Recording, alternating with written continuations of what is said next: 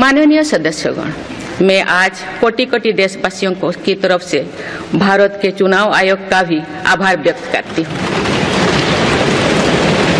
ये दुनिया का सबसे बड़ा चुनाव था। करीब चौसठ करोड़ मतदाताओं ने उत्साह और उमंग के साथ अपना कर्तव्य निभाया है। इस बार भी महिलाओं ने बढ़ चढ़कर मतदान में हिस्सा लिया है। इस चुनाव की बहुत सुखद तस्वीर जम्मू कश्मीर में भी सामने आए हैं। कश्मीर घाटी में वोटिंग के अनेक दशकों के रिकॉर्ड टूटे हैं। बीते दस, चार दशकों में कश्मीर में हमने बंद और हड़ताल के बीच कम मतदान का दौर ही देखा था। भारत के दुश्मन इसको वैश्विक मंचों पर जम्मू कश्मीर की राय के रूप में दुष्प्रचारित करते रहे। लेकिन इस बार कश्मीर घाटी ने देश और दुनिया में ऐसे हार ताकत को करारा जवाब दिया है। पहली बार इस लोकसभा चुनाव में घर पर जाकर भी मतदान कराया गया है। मैं लोकसभा चुनाव से जुड़ी हर कर्मी को सराहना करती हूँ और अभिनंदन करती हूँ। लगातार तीसरी बार स्थिर और स्पष्ट बहुमत की सरकार बनाई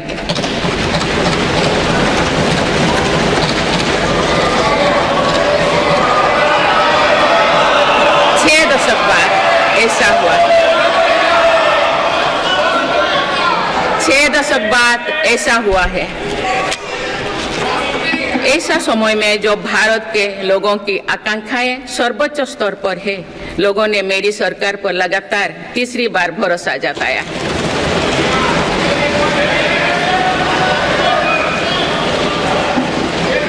भारत के लोगों को ये पूर्ण विश्वास है कि उनकी आकांक्षाएँ सिर्फ़ मेरी सरकार ही पूरा कर सकती है। इसलिए इसलिए 2024 का ये चुनाव नीति, नियत, निष्ठा और निर्णयों पर विश्वास का चुनाव रहा है। मज़बूत और निर्णायक सरकार में विश्वास, सुशासन, स्थिरता और निरंतरता में विश्वास, ईमानदारी और कड़ी मेहनत में विश्वास, सुरक्षा और समृद्धि में विश्वास सरकार की गारंटी और डिलीवरी पर विश्वास, विकसित भारत के संकल्प में विश्वास। मेरी सरकार ने 10 वर्षों से सेवा और सुशासन का जो मिशन चलाया है, ये उस पर मुहर है। ये जनादेश है कि भारत की विकसित बनाने का काम बिना रुके चलता रहे और भारत अपने लक्ष्यों की प्राप्ति करते रहे। माननीय सदस्यगण अठारहवीं लोकसभा कई मायनों में एक ऐतिहासिक लोकसभा है। ये लोकसभा अमृतकाल के शुरुआती वर्षों में गठित हुई है। ये लोकसभा देश के संविधान को अपनाने के पचहत्तरवीं वर्षों की भी साक्षी बनेगी। मुझे विश्वास है कि इस लोकसभा में जन कल्याण के फ़सलों का नवीन अध्याय लिखा जाएगा। आगामी सत्रों में मेरी सरकार अपने इस कार्यकाल का पहला बजट पेश करने जा रही है।